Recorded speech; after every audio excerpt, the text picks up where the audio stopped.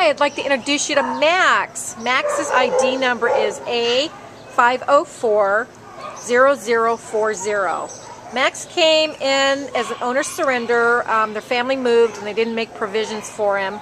He weighs 11 pounds and he is a male Chihuahua mix, five years old. And he's got the cutest little muzzle with a little bit of white on him.